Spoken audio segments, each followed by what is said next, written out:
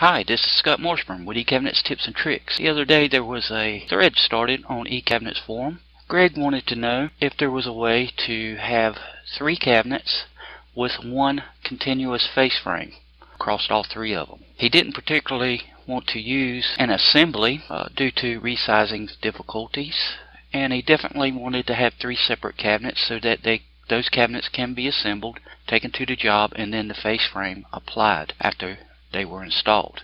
Well, I came up with this cabinet. What it is is one single cabinet that can be assembled as three separate cabinets and then the face frame applied after the cabinets are put together and in the house. Let me show you how I did it. What I'm going to start out with is just a one opening base cabinet. Now I have my material set up based on the specifications that Greg is using. He's using 11 16 thick sheet stock for his ends and deck and I'm not sure about the back but in this case I'm using a quarter inch thick material for my back. Now his face frames, the stiles are an inch and 3 eighths wide material.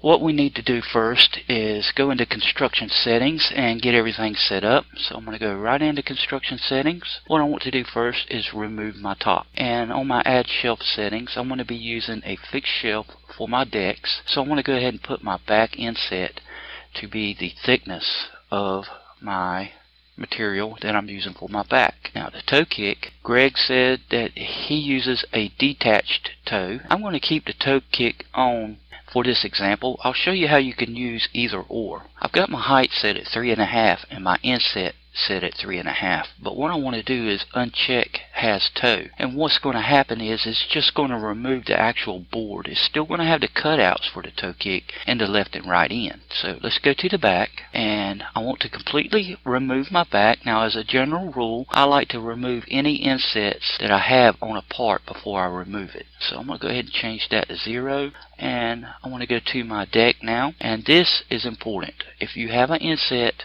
for your bottom on your deck, make sure you remove it because it will affect your stiles. In this case, I'm using a formula to control my bottom inset, so I'm going to just clear that and change this to zero. Now let's go to the face frames. I want to make sure that if I have a deck float on my face frames, I want to get rid of that too. So zero. Now, what Greg likes to do is he likes to hold his left and right ends flush to his stiles, okay? And to do that, you need to specify a scribe. So what I'm going to do is I'm going to use the formula editor to control that. Just in case we change the width of our stiles or we change the thickness of our material, this will automatically adjust accordingly. So I'm going to click on my FX button here and I want to say that my scribe is going to equal my left stile width minus my left end thickness. Okay? I'm going to click OK and you see right here we got 11 sixteenths. Now I want to go over here and do my scribe for my right stile and it's basically the same thing just everything is on the right so this will be right stile minus the right end thickness. I'm going to click OK, OK. That takes care of that. One thing I did forget though is the partitions. Okay, so let's come back in here. Right here under Add Partition Settings, I want to make sure that the bottom of my partitions are extending down by my toe kick height. Okay, so I'm going to come right here under bottom inset and my formula editor and I'm going to say minus my toe kick height. I'm going to click OK and OK. Now you can see how this these stiles extended down past my toe kick here by the width of my bottom rail. In this particular case, I cannot use my bottom rail at all because I'm going to be using fixed shelves and I want to associate those fixed shelves that are going to be my decks to the, be to the top of what's going to be my bottom rail. And you can't associate fixed shelves to your bottom rail or your top rail, and you can't associate partitions to your left stile or your right stile. For that, I'm going to use a mid rail. You need to go into Face Frame Editor. Going to go ahead and delete this. Now you can see these adjust up. So they should be 31 inches, and they are. Let's go ahead and add a mid rail. I'm going to select that opening and hit M on my keyboard to add a, a mid rail. I want to highlight this opening, and I want to adjust the top to 0. I'm going to come right here and click on Opening Locks, and we'll go ahead and lock that opening. That's opening 3, and we'll set it to be true, and OK. Now the next thing I want to do is go ahead and get my mid stiles in here. So I'm going to select this opening and I'm going to hit the letter S on my keyboard. There's one. I need one more there and I need two here. So that one and that one. Now I can go ahead and equalize these. So I'm going to hold down my control key and select these openings and hit E on my keyboard. And that equalized them. I'm going to go ahead and take care of these. Okay, now what we need to do next is get our partitions in here. So I'm going to go to the partition editor and I'm going to select this opening and hit P on my keyboard. There's that one. I need one more here. P. And over here on this opening I need one there. And I'm going to select this opening and add one more. So there's those. What I need to do now is adjust these these openings here so that these partitions actually touch the stile that I want to associate them to. Now I can associate these to those stiles. I'm going to go to associations. When I select this partition, you can see this one highlight. So I want to go to my mid stile here that one right there. You see it turn blue. And I want to go to the right side of that. So I'm just going to select this box and hit R on my keyboard. And right now this inset is zero. And that's what it needs to be in this particular case. Now if you're using a wider stile, you need to accommodate for that. I'm going to click on the next one here. And you see this one highlight. So I want to select my mid stile. And I need to go to the left on that one. So L and 0.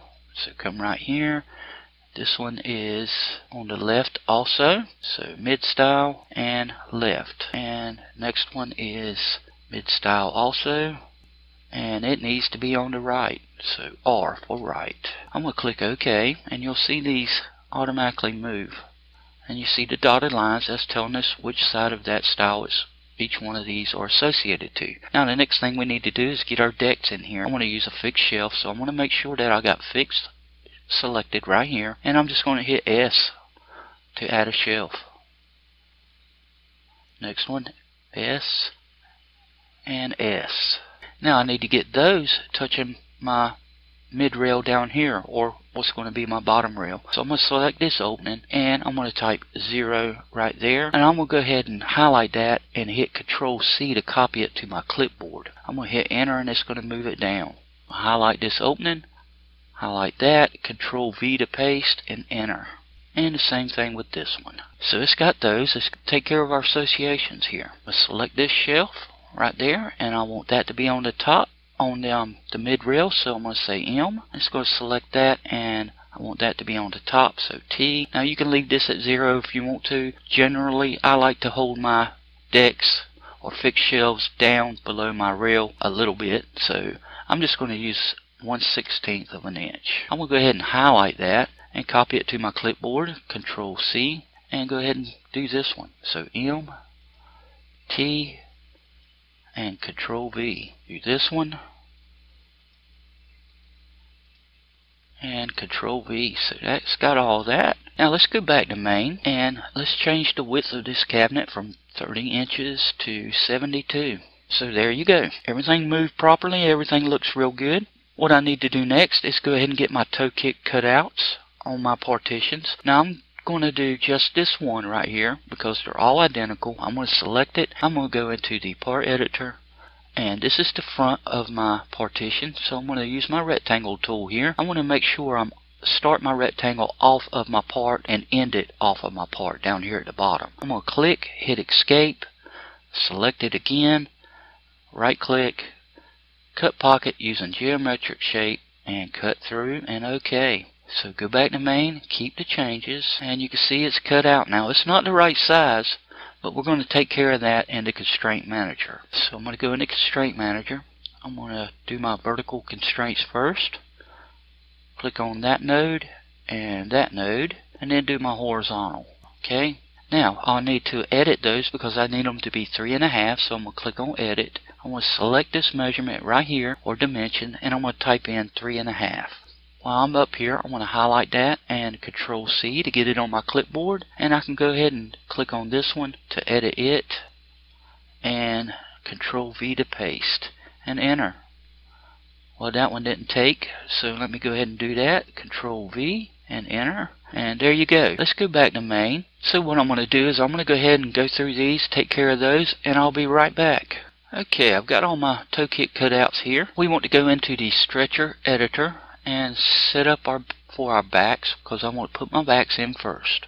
I want to right click and go into construction settings. Now what I've got is I've got a stretcher width of two and a half. I want to use a left right stretcher up down orientation and I've got a full dado on the left and the right. And in construction preferences I've got my dado depth set to be 3 eighths. One thing that I want to do is I want to make sure that my grain direction is 90 degrees and of course I've got one quarter inch thick material selected for my back. I'm going to click OK. I'm going to select my left end and this partition here. Add a stretcher. And OK. So there that is. What I would do next is go ahead and put my other two backs in here so that I could go through and adjust them all. But I'm going to show you just this one opening right here. Everything else is basically the same. I'm going to go ahead and select this stretcher. I'm going to go adjust stretcher and advance. In set 1 I want to be set to the top of my left end here. And then inset 2, I want it to be on the bottom of my fixed shelf. Inset 4, I need it to be on the back of my left end. So let's go ahead and take care of that. Inset 1 there, I'm going to hit L to select my left end and T for top. Okay. In set 2 is going to be on my fixed shelf there. Right now it's on the top. Select that and hit B for the bottom and now inset 4 is going to be on my left end so L for left end and B for back. I'm going to hit enter and OK. Now I can go ahead and set these insets. Everything's going to be 0 so I'm going to type 0 I'm going to go ahead and copy that to my clipboard control C lock and inset 2 is 0 so control V lock and then inset 4 control V and lock and go ahead and lock 5 and 6. Make sure you don't forget to lock those. I'm going to click done and I'm going to hit control end to look at my back here and everything looks good. So let's go home. The next thing I want to do is get my nailer in here and my toe kick. Okay, so I'm going to go to construction settings and this time I want my width to be four and a half. That's the width of my nailer. The toe kick's not going to matter because we're going to make it adjust automatically. This time I want to use butt construction. I need to make sure I've got my 11 16th uh, plywood selected there and I want to make sure I change my grain direction back to zero and OK. Now I can go ahead and add both of those. So select my end and my partition and add a stretcher and OK. There's that one. Let's go ahead and get the next one in here. Add a stretcher.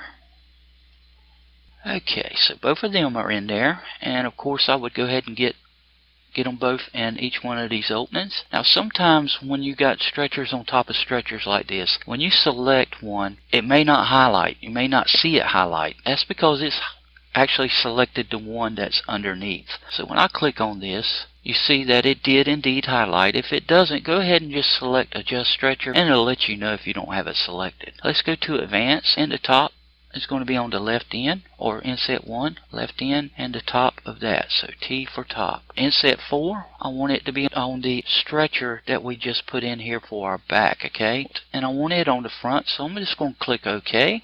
And I've got 0 copy to my clipboard so control V and lock and then inset 4 control V and lock. Go ahead and lock 5 and 6 and done. Go ahead and take care of my toe kick now advanced. Now this time in set 1 we want to be on this fixed shelf here that we're using for our deck. So let's select inset 1 and scroll down till that turns blue and it's already selected the bottom for me so we're good to go. In set 2 we want it to be on the left end so L for left end and we want it on the bottom so we're good to go there. Now in set 3 I want it to be on my mid rail that we're using for the bottom stile so I'm going to hit M and select here. And it's already selected the back for me so we're good to go. I'm going to click OK and everything's going to be zero except for inset 3 so I'm going to say control V lock. Control V lock. Now inset 3 this needs to be whatever our inset is for our toe kick. In my case it's three and a half so I'm going to type in three and a half and lock it now one thing you want to remember is that if you change your inset on your toe kick, you need to come back into the stretcher editor and adjust inset 3 accordingly. I'm going to go ahead and lock inset 5 and inset 6 and go done. So if that's got those, the next thing I want to do is put my top stretcher front in here and my top stretcher back. So I'm going to right click, go to construction settings and change this to two and a half. That's what I use for my top stretchers there. And I want a front back orientation this time. And again, everything's on my left end and this partition. So go ahead and add that stretcher and okay. Add one more. And of course I would go ahead and add two to each one of these openings. Let's go ahead and adjust this one. Advanced. And again, we're working with the left end on inset 1, so L for left end, and we want it on the top, so T for top. Inset 3, we're going to set on our top rail, so T for top rail, and we want it on the back of the top rail, so we're good to go there. I'm going to click OK, and change this to 0 so control V since I have 0 on my clipboard there and inset 3 control V and lock. And make sure we lock 5 and 6 click done and there's that one. Let's go ahead and get this one. Now this time we're dealing with inset 1 and inset 4 okay? And I want inset 4 to be on the front side of this nailer here. So I'm going to go ahead and select inset 1. It's going to be on the left end and the top of it. And inset 4 is going to be on my nailer stretcher there and the front of that. So all that's good. I'm going to go OK and Control V, lock, and Control V and lock. So that's good to go. Let's click Done. So, that's how you go about getting those stretchers in there. I'm going to go ahead and take care of these other two openings, and I'll see you back in main. Let's see how this thing resizes, and see if we got any problems. I'm going to go ahead and change my width to, say, for example, 60 inches. And let's go ahead and make the height something like 32, and the depth 21. And there it is. All that looks good. What I want to do is check out my toe kick here. So I'm going to go back into construction settings. I'm going to take my toe kick and let's see what happens when we select detach toe. Now you can see how that toe kick or that stretcher there automatically moved for me and if I were going to use a detached toe for this cabinet, I would make sure I remove my part editor cuts from my partitions, and then I would make these stretchers right here a phantom part. What I want to do is I want to see what happens when I resize these openings. So let's go into face frame editor, and let's say for example we want to put a sink in here and we need, I don't know, maybe 33 inches for this opening. So I want to make sure I've got both selected, and I'm going to change that to 33. And now I need to change this one. Let's go back to main and make sure everything regenerates properly. So that looks pretty good. That's going to wrap it up for this video, guys. I hope this video helped you out. If it did, how about give me a thumbs up? And hey, if you haven't subscribed to my channel, be sure you subscribe so you can get all my latest tips and tricks. As always, thank you for watching and have a good day.